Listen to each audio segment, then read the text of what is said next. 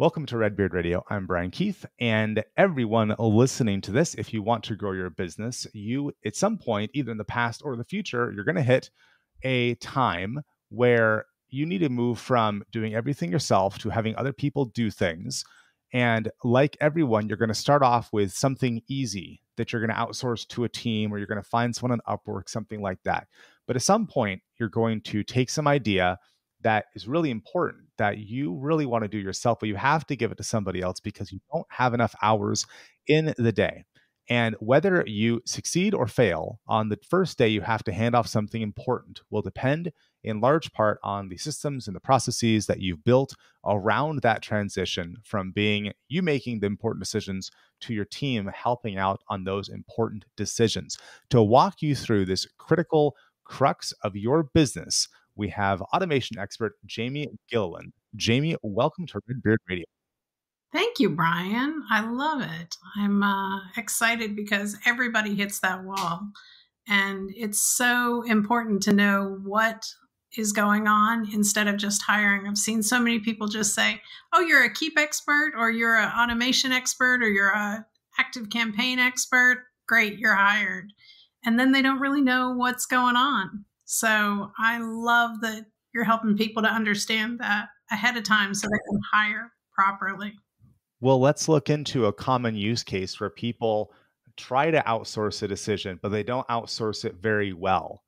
uh, what do you think is our first mistake? Let's assume that we found someone who is a generally competent person and we've given them a task and they fail at it. Either the quality is too low or it's behind schedule or they deliver the wrong thing how do we start in understanding what went wrong? well, I have a personal nightmare myself um, that I did years ago. You know, um, typically when we hire, we're looking for certain qualities, certain skill sets, and those are easy to find. And I say that kind of with air quotes around it because it's only as good as what the person is telling you their skill sets are. Hmm. There's no guarantee or verification or validation that they have those skill sets. So, years ago, when my agency was growing, I did a lot of web design work and I was really good at selling.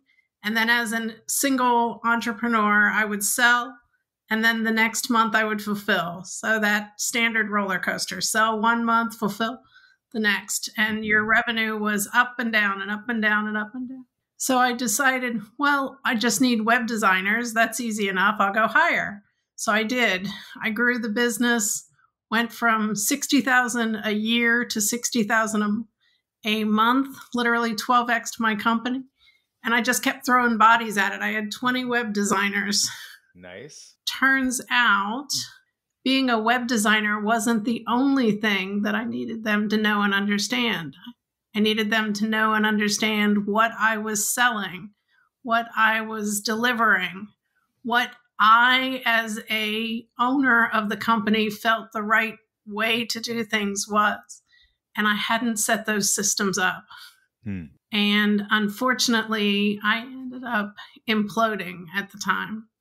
So I literally stopped business for six months.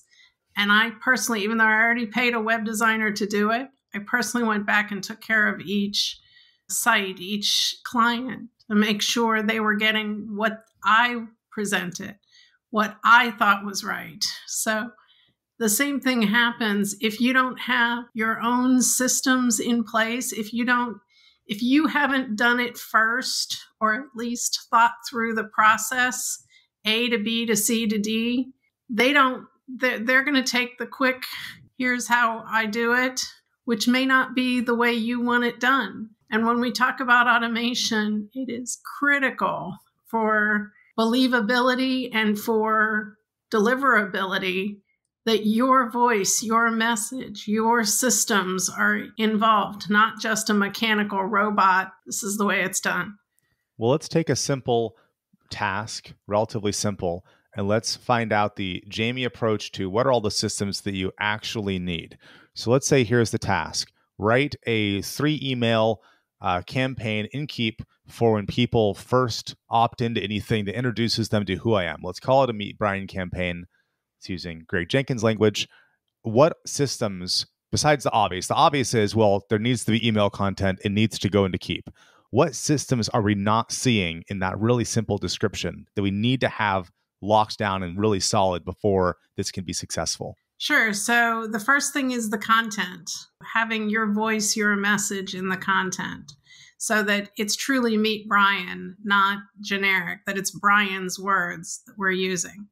That's the first thing I want to make sure. The second is what are we offering? In addition to meeting Brian, are we offering a chance to talk to Brian? Are we offering a free PDF of some sort, a video, a course? what is the action we want them to take once they meet who Brian is? And then how are we handling that action? So, for instance, if we want them to click on a video to watch a video, and once they watch that video, we don't want them to get the next email because it's telling them again to do the video. We want to make sure all of those pieces and the journey what are the different forks in the road that they can take? We want to make sure we know and understand what those are before somebody starts building it. That's a lot of good stuff. Uh, I want to dig into the first one. You said content. What are what's the best way you found to get content out of someone's head when you want to put it into a simple email series like this? Sure. So I usually sit down. Actually, I usually have my husband sit down because he's the copywriter. But um, he sits and asks a lot of questions, first of all, gets people talking to him just, and they might be simple questions like, tell me about your last whatever, last vacation. Hmm. So that he starts to hear what are the words, what are the things that people are using in the process. You know, tell me about the last time you met a new customer. What, how did you introduce yourself? What, you know, are you a, we work with a lot of speakers, authors, coaches. So we'll listen to them on stage or um, podcasts they've been on or different places where they're just talking about themselves so that you can pick up their actual voice. You know, if somebody typically says, hey, y'all, versus hi, this is Jamie, then we want to pick up the hey, y'all. Mm-hmm my favorite thing is I love interviewing people, but I record everything and then I just get a transcript. Exactly. I start hacking apart the transcript. Yeah. Uh, and I might I might take out, you know, let's say it's a, a five thousand word transcript. I might keep a thousand words of, you know, cut it down to the fifteen hundred words that are really the guts of the thing. The relevance. Get rid of another third of those, add on twenty percent to sort of fill things using their language, but then still have the end product be substantially similar. But here's the thing, Jamie how do you tell if someone has the ability to do that? Because that kind of judgment's hard. Summarizing judgment is hard. Saying summarize this 5,000 word thing into 1,000 word, that's hard. But then make it sound as if it was written the exact length that the ending product is. That is a different skill set. And it is also hard. How do you assess if people have the ability before you give them the task? I would ask for examples of their writing and see what they were. And the one thing that I would pick up on is do they all sound the same? Because they're different people, they're different examples. They should not sound anything like one another. Mm. They should sound like the original person you were writing for. Mm-hmm. That's great. Let's talk about offer, was the second thing you mentioned. When you're talking about systems around offers, what's a standard kind of system you might have for a simple campaign? Sure, it could be that they clicked a link. And once they click that link, then we may want to follow up and say, hey, now that you watched this video, blah, blah, blah. Or if they made a purchase, we don't want to keep bothering, why didn't you buy? Why didn't you buy? Why didn't you buy? When they've already done it. There's nothing more embarrassing or infuriating for the person that actually paid you money. So making sure that we know what the steps are and when they take a step, when they don't take a step, how do we remind them gently? When they do take the step, what's the next step after that? Because typically there's I call it the journey. There's there's a path that we want to take them on. They watch this video, then they download this free thing, then we offer them a low price product, then we offer them a coaching call, and from the coaching call we upsell them into a high ticket offer whatever whatever the process is that you've outlined we want to make sure we know that before anything starts getting written or built. What percentage of these systems do you use verbatim from client to client versus cut you customize for each client based on their own needs? Hmm. Typically the functionality of the product is very similar in different clients that I work with, but the content is completely customized.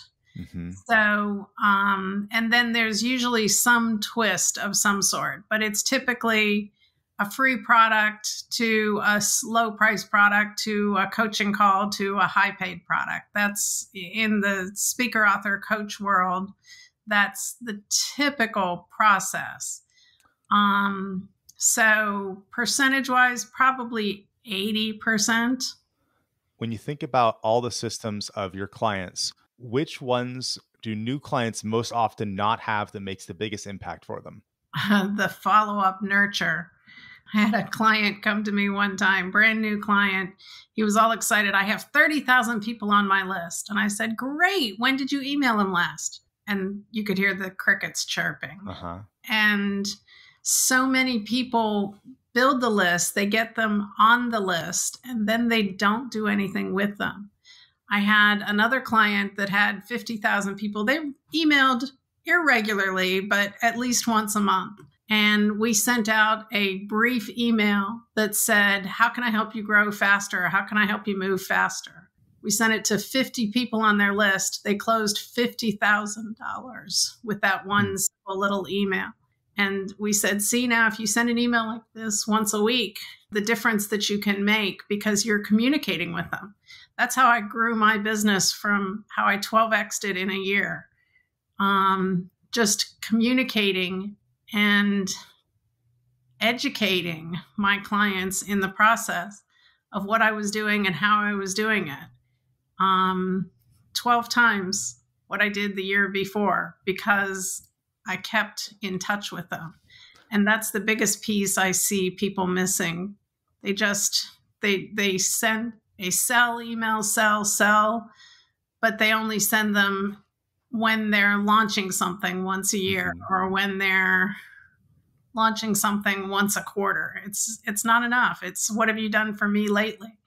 Yeah. So having, you know, I have clients that send 6 to 10 emails a day, which I think is too much but if but it works works for him.